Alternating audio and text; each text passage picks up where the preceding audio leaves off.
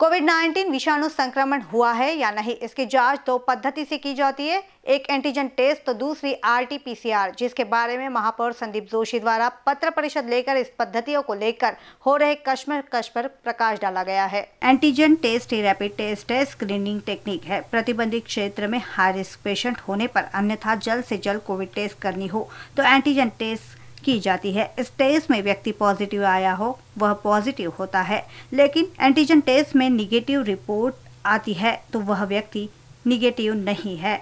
लक्षण न होने पर निगेटिव आया तो पीसीआर टेस्ट करना आवश्यक है।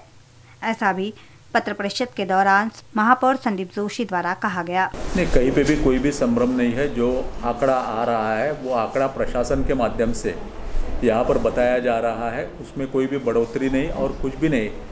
जो है, वो आपके सामने, सबके सामने बताया जा रहा है। उसके बारे में दो प्रकार के टेस्ट है। एक एंटीजन टेस्ट है, जिसको रैपिड टेस्ट कहा जाता है। ये कोई कन्फर्मेटरी टेस्ट नहीं है। और दूसरी जो टेस्ट है, वो पीसीआर टेस्ट है। वो टेस्ट के माध्यम से, जो कन्फर्मेटिव टेस्ट है, वो करना अत्यावश्यक है।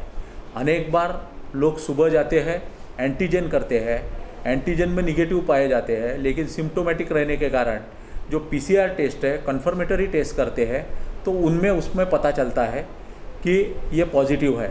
अनेक जन पॉजिटिव रहते हैं सुबह। उन्होंने एक पॉजिटिव टेस्ट इसकी करने के बाद में पीसीआर की टेस्ट होने के बाद में, उन्होंने जानबूझ के बहुत ये टेस्ट बराबर है कि नहीं? इसलिए एंटीजन पे टेस्ट करते हैं। अब एंटीजन पे टेस्ट यानी कन्फर्मेटिव टेस्ट नहीं है, वो उन्होंने समझने की आवश्यकता है।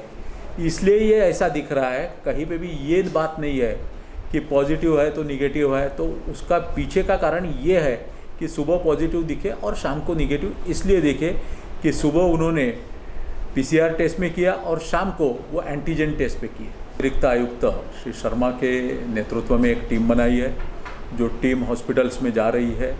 टीम इसका इवेल्यूएशन कर रही है। आपने देखा होगा नागपुर के बड़े दो हॉस्पिटल्स पे उन्होंने फ़ाइन भी ठोका है, उनको वापस पैसे करने के लिए भी बताया गया है।